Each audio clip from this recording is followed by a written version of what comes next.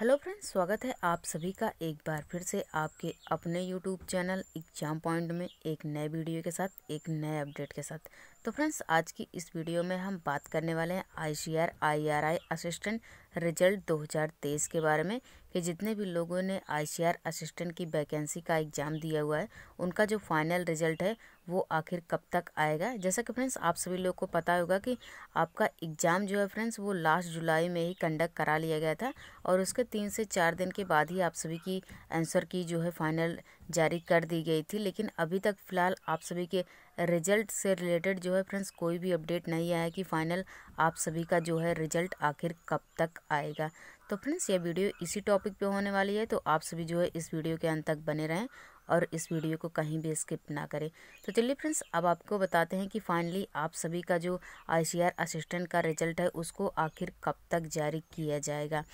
तो फ्रेंड्स, यहाँ पे आप सभी लोग के लिए आज की इस वीडियो में बहुत ही बड़ी जो है खुशखबरी सामने निकल के आ चुकी है कि फाइनली आप सभी का रिज़ल्ट की जो एक्सपेक्टेड डेट यानी कि फाइनल जो आप सभी का रिज़ल्ट जो है फरवरी की जो है फ्रेंड्स, फ़र्स्ट वीक में आप सभी के जो फाइनल रिज़ल्ट हैं, आईसीआर असिस्टेंट की साढ़े पाँच सौ प्लस वैकेंसी के, उसके जो रिज़ल्ट हैं फ्रेंड्स, वो फरवरी के फ़र्स्ट वीक 2023 में ही आप सभी के फाइनल रिज़ल्ट जो हैं फ्रेंड्स, आईसीआर की ऑफिशियल साइट पर जो है जारी कर दिए जाएँगे। तो फ्रेंड्स, यहाँ पे आज के लिए जो है फ्रेंड्स, आप सभी के लिए बहुत ही बड़ी अपडेट आ चुकी है कि फाइनली आप सभी का इंतज़ार जो है फ्रेंड्स, वो ख़त्म होने वाला है और आप सभी का रिज़ल्ट जो है फ्रेंड्स, वो